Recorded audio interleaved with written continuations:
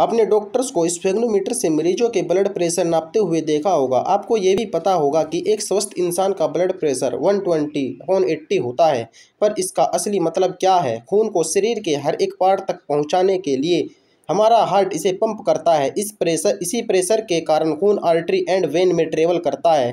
खून को पंप करने के लिए हार्ट को सिकुड़ना व फैलना पड़ता है। इस सिकुड़ने को सिस्टोल कहा जाता है। इस समय खून का हाई ब्लड प्रेशर के साथ आर्टरी में जाता है। इस प्रेशर को सिस्टोल प्रेशर कहा जाता है।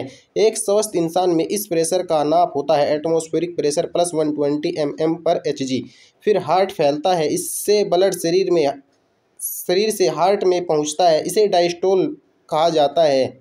इस समय आर्टरी व वैन में प्रेशर घटकर हो जाता है। Atmospheric pressure plus eighty M M पर एच जी इसे डायस्टोलिक प्रेशर कहा जाता है। यही है वन ट्वेंटी अपॉन एट्टी। का कॉन्सेप्ट